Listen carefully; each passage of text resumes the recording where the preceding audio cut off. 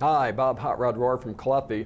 Um, balancing valves is what we're going to talk about next. Now there's a lot of balancing valves on the market. There's manual balancing valves, there's pressure independent balancing valves, um, pressure differential balancing valves, but today we're going to talk about a manual balancing valve that Caleffi offers that's called the Quick Setter. It's a very unique, it's a patented valve. Um, it's got some features that you won't find anywhere else on the market. I'm going to show you a couple different versions of this.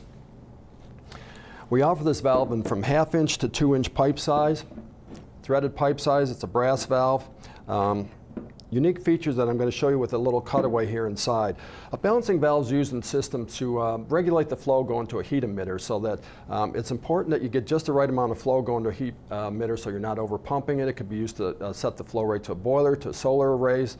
Um, you got to make sure you get your flow rate right so you're not using too much pumping power, that you're getting enough flow going through it to cover the job. So this is kind of an underutilized valve, I feel, and we're going to sell you a lot of these. You're going to like this when you see what we've got going on inside here. So this is what it looks like when you take it out. And again, remember, these come in every one of our boxes, and there's a reason for that. Please read the directions, because you'll learn a lot about this valve in just a couple minutes reading through that. But this is what it looks like, and this is how it works. So this is our smallest version. This is our half inch, goes from half, uh, half inch pipe size, goes from a half GPM all the way up to 1.75 GPM.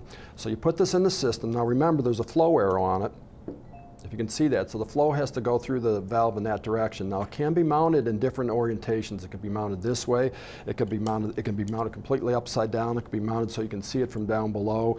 Uh, so on a solar array, you would want to protect it from the sunlight because this isn't a UV plastic on it. If you're going to use it on a solar array, protect it from freezing, but also maybe keep it up behind the collector where it's protected from the sunlight a little bit.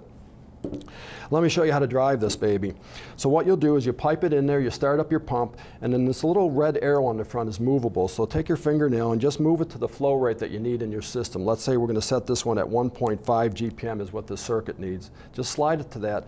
And now what happens is when you pull this ring, it's going to divert the flow through there, and you're going to see a little ball in there that floats up there. And I'm going to show you that in the cutaway. I can explain that a little bit better. Jumping inside here, this is what a cutaway looks like. So now the fluid's going through the center of this valve, and when you pull that little pin out, it diverts a bit of the flow up through there, and it moves a little piston in the chamber right here, up and down. And notice what happens when I move that uh, piston up and down. It's sliding a little ball in the window there. Well, what happens is this um, little piston has a magnet on it, and that ball is a steel ball. So as the piston moves up and down, it moves the ball in the window with the magnet.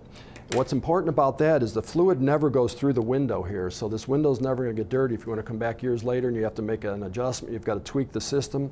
You pull the ring, the piston moves up and down again, it moves the ball with it. You change your uh, setting with your fingernail on the arrow where you want to move to. Then you put a wrench up here on this little stem here, and that's where you adjust the flow rate until you get the ball right lined up with the red arrow, and then you're set and ready to go. Inside, of course, you can see the fine quality uh, machine work in there. It's a great little valve. It's got a lot of different applications. Um, the quick setter from Caleffi.